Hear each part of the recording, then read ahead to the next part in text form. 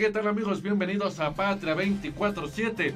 Hoy en la mañanera, López Obrador dice que la batalla contra el huachicol ya ha rendido frutos, pues el 90% del huachicol se ha podido reducir y por supuesto se evitó que se llevaran 63 mil barriles. Así que vamos a ver cómo lo anunció. Lo de Huauchinango, si tenían sí, información. tenemos ¿qué pasó información. Miren, continúa eh, el robo de combustible, pero ya no igual. Eh, ayer se robaron eh, siete mil barriles de gasolinas. Esto significa el 10% de lo que se robaba eh, cuando tomamos la decisión de enfrentar el robo de combustible, se robaban 70 mil barriles diarios. Es decir, se ha logrado una reducción considerable en términos cuantitativos, se robaban eh, 65 mil millones de pesos. Eso fue lo que se robaron el año pasado. Ahora, si seguimos como vamos, pues nos vamos a ahorrar alrededor de 50 mil millones de pesos. Pero todavía no podemos erradicar por completo el robo. Eh, era una práctica muy arraigada, se permitió, se toleró durante muchos años. Tengo el informe también que a pesar de lo sucedido en Hidalgo, lo lamentable que fue eh, la explosión en Hidalgo que eh, llevó a que perdieran la vida eh, 130 eh, seres humanos, este, una tragedia dolorosísima eh, que todavía eh, hay 14 eh, heridos hospitalizados. A pesar de todo esto, ayer mismo en Hidalgo, otra toma clandestina con las mismas características de la que causó la explosión. Entonces, vuelvo a hacer el llamado a la población para que no eh, se acerque, que se aleje de estas fugas que se provocan por las tomas clandestinas. Eh, afortunadamente ya no hay eh, desgracias, pérdidas de vidas humanas, eh, ni en Hidalgo ni en otras partes, en lo que corresponde a esto, que es el robo de combustible. Continúa la misma estrategia. Vamos a, a informar mañana eh, que, este, que se cumplen dos meses que iniciamos el plan. Mañana que se cumplen dos meses, vamos a dar el informe eh, sobre cómo hemos logrado,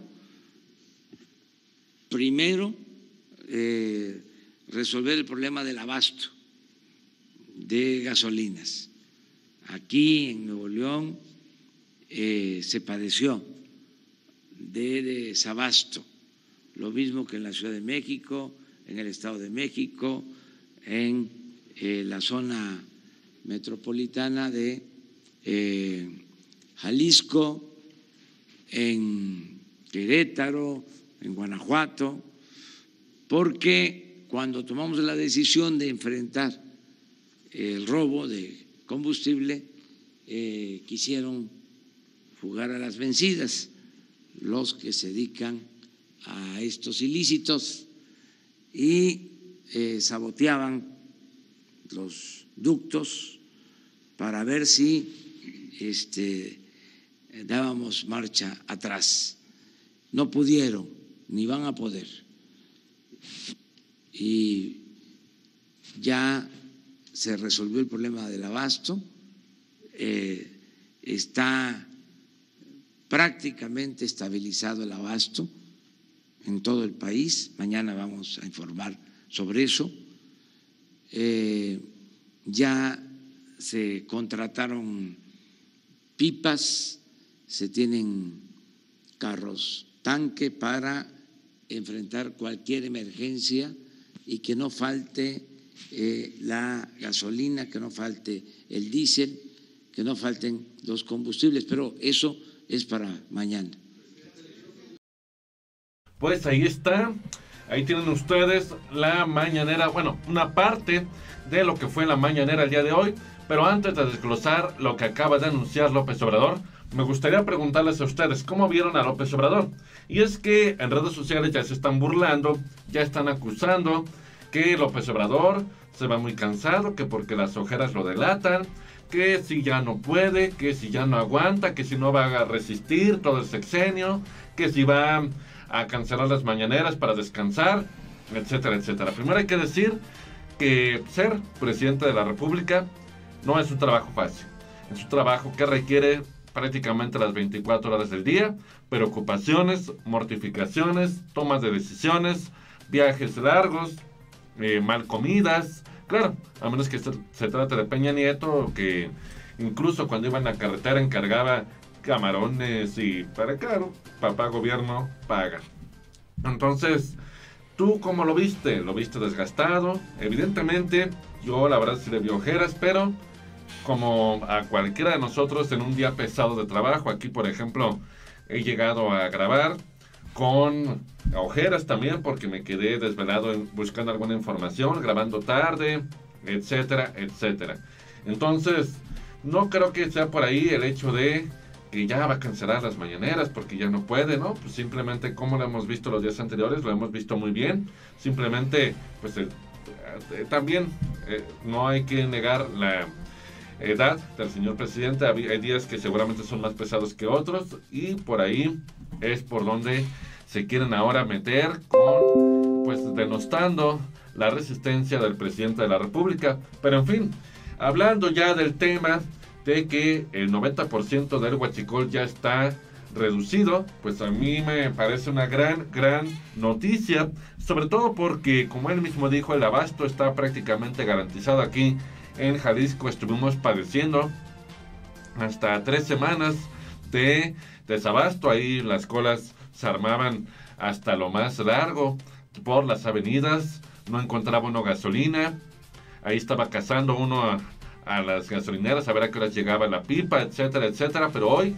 ya lo tenemos prácticamente al 100%, sí fue pesado, sí fue molesto tener que estar cazando las pipas, estar haciendo cola, pero al final de cuentas si tenemos que el 90% de, se pudo reducir todo este tema del huachicol, creo que valió la pena si es que las cifras están cuadrando.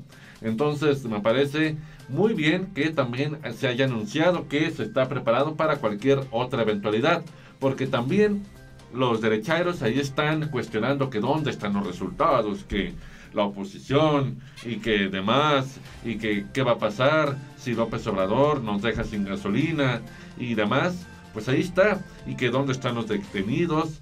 Se habla ya de más de mil carpetas de investigación que el gobierno de López Obrador ha interpuesto o ha iniciado con el objetivo de pues mandar presos a todos aquellos que están lucrando con este delito, que por cierto no era grave, pero gracias a la propia iniciativa del presidente y sus eh, pues afiliados a Morena, ya va a pasar a ser delito grave. ¿Y por qué no era grave? Porque evidentemente los que eran encargados de redactar las leyes, en este caso el legislativo, tenían negocios dentro del huachicol. Así que me parece sumamente positivo que ya esta batalla contra el huachicol esté prácticamente por ganarse o cuando menos estabilizarse porque siempre va a haber huachicoleros tratando de seguir haciendo su agosto. Así que muy buena la idea o el planteamiento que hace López Obrador. Así que déjame en los comentarios tú qué opinas. ¿Crees que la batalla contra el Huachicol ya está por ganarse o falta un largo camino por recorrer? Y también en relación a las críticas respecto a su supuesto cansancio que acaba de manifestarse con estas mujeres. Que yo soy Fernando Carmona para Patria 24-7 porque recuerda la verdad, no será libres.